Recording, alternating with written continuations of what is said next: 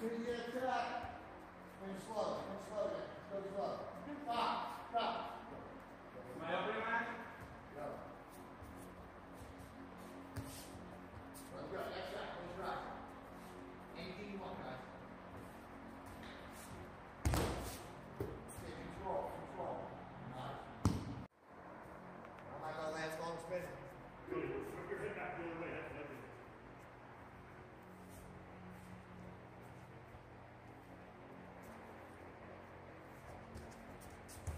mm you.